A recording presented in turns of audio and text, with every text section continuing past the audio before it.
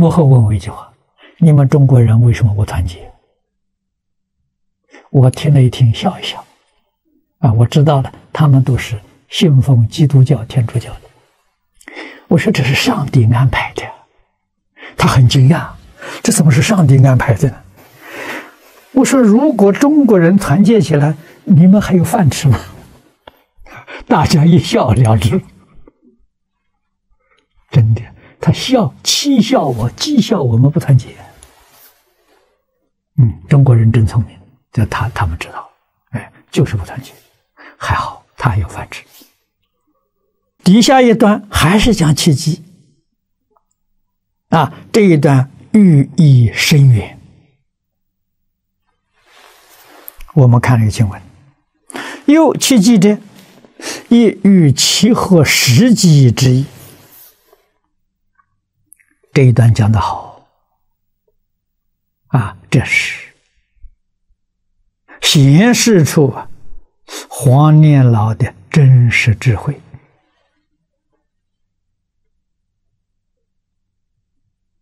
啊，很重要。契合什么？契合现代这个社会时期。如来垂此，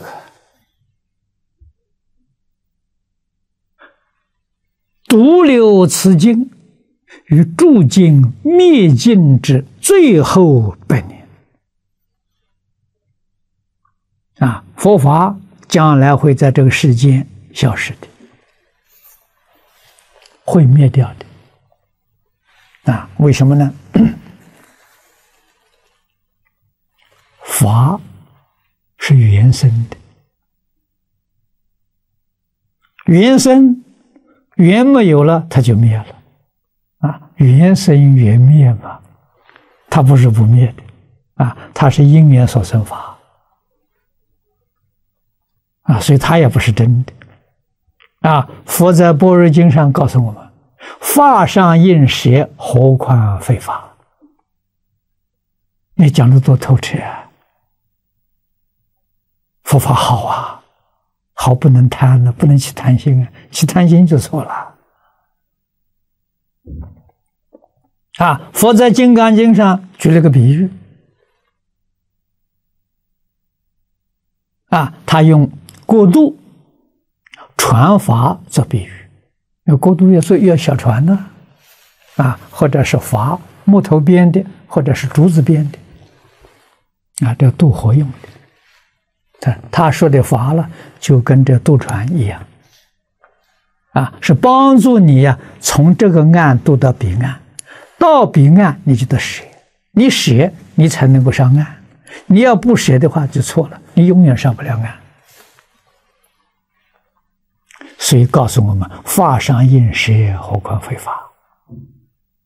啊，这个舍的意思，就是你不要执着，不要放在心上。啊，你放在心上就错了。啊，为什么？它是有为法，它是原生法。它不是自信啊！你能够一切放下，你就尽信了啊！信才是唯一的真实法了，不生不灭，样样具足啊，样样圆满！智慧具足，德能具足，相好具足。就像我们今天讲福报啊，是你自己本自信里头本来有的，不是从外头找来的，外面没有啊。而且呢，是永远享受不尽的。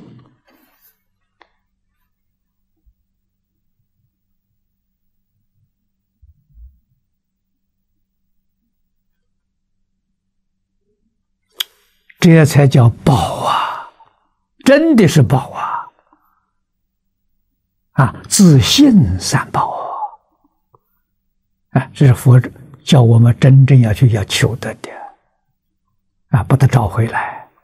现在迷失了，找回来啊！所以你一定要知道，智慧从哪的？就自己本来有，你去你去求智慧，没这回事情。你所求得的是知识，知识跟智慧是两桩事情。啊，智慧怎么求法呢？智慧把心定下来，啊，清净心生智慧啊。那我们的心不定，里面心里面是乱七八糟的东西，所以它不生智慧，生烦恼。啊，清净心生智慧，所以智慧从放下，智慧就出现了。啊，放不下，永远没智慧。你所学的全是知识。啊，知识能解决小问题，解决小问题还有后遗症。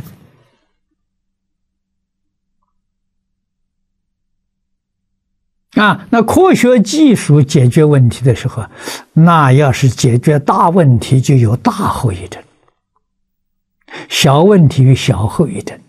哎，解决小问题还还还可以，解决大问题呀就带给。全世界的灾难，最后到地球的末日啊！科学技术带来的啊！中国人聪明啊！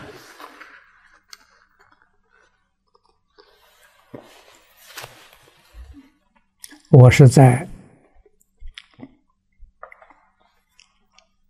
一九八二年，我第一次到美国。第二次是一九八三年，沈家珍居士请我去讲经，在纽约。啊，到纽约那一天，啊，他请我吃饭，客人有很多，啊，里面有很多，啊，当地的美国人。啊，我相信他们都是沈老居士的好朋友。有一个人问我，啊，跟我说，他说现在我们西方人对中国人的看法了，跟过去不一样了。过去总认为，啊，轻视中国人，认为中国人没有文化，野蛮人。啊，都现在我们知道了，啊，全世界一个一个比，中国人第一，中国人有智慧，很能干，一个一个比中国人第一，两个两个比呢，这犹太人第一，三个三个比，日本人第一。幕后问我一句话：你们中国人为什么不团结？我听了一听，笑一笑，啊，我知道了，他们都是信奉基督教、天主教的。我说这是上帝安排的，他很惊讶，这怎么是上帝安排的呢？我说如果中国人团结起来，你们还有饭吃吗？大家一笑了之，真的，他笑讥笑我，讥笑我们不团结。嗯，中国人真聪明，这他他们知道了，哎，就是不团结，还好他还有饭吃。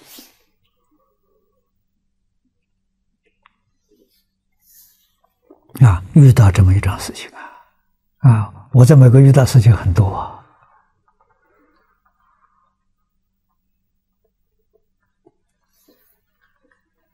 嗯 那么现在。啊，由于科学技术日新月异，对于这个地球生态的破坏已经到严重的程度了，所以地球上灾难这么多啊，不是没有原因呢。人为的，我们一定要晓得，再继续这样破坏下去，现在各地方这些灾难，那是什么？这是大灾难的先兆我们已经看到了。再要不认真努力，这个灾难是决定不能避免啊！所以我们不可以不知道啊，不能不认真呢，努力来修复啊，化解灾难没有别的，就是劝导大家回心转意啊，断恶修善，积功累德，灾难可以能够解除。啊，阿弥陀佛，阿弥陀佛，阿弥陀佛。